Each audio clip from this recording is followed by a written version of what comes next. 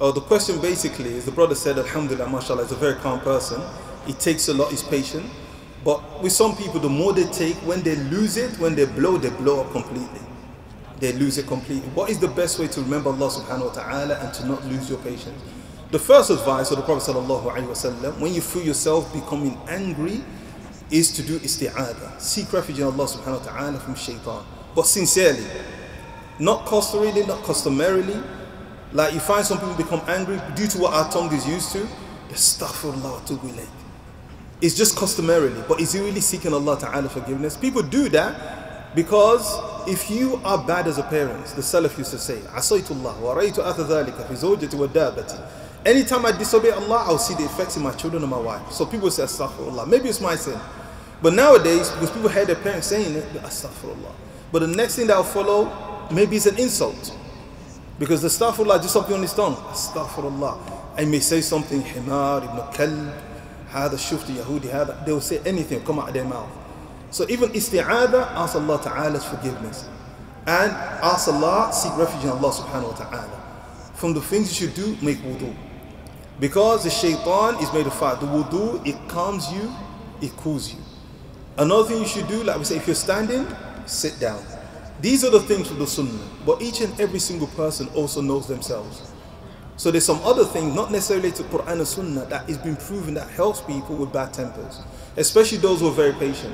Do not allow issues to fester.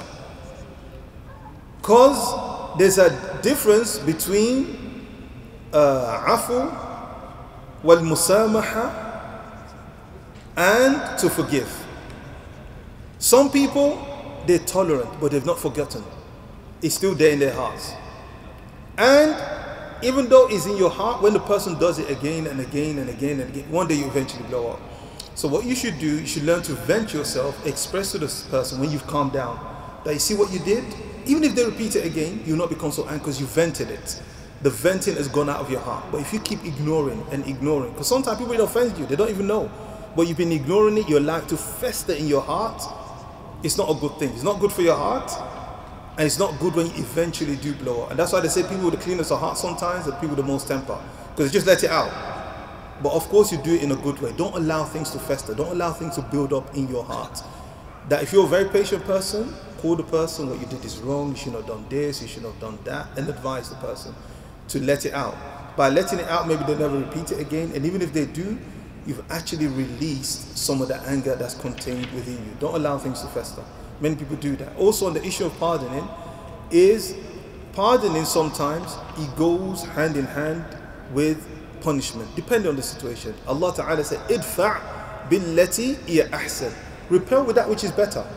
Repelling with that which is better is not always not to cause someone to account for their deeds or to punish them for their deeds. Do you understand?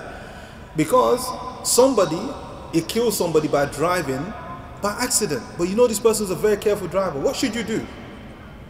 Forgive, and you'll feel better in your heart. What if this person, he drives recklessly, he drifts, he's killed so many people?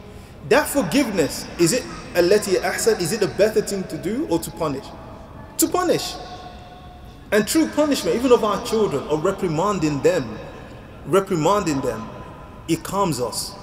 Allah subhanahu wa ta'ala, He punishes us. ظهر الفساد في البر والبحر بما كسبت أيدي الناس.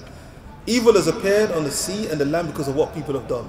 And Allah Ta'ala makes these things happen لَعَلَّهُمْ يَرْجِعُونَ So they will go back to Allah Subhanahu Wa Ta'ala. So forgiving, forgiving, forgiving, and forgiving also can make you get upset if you over forgive.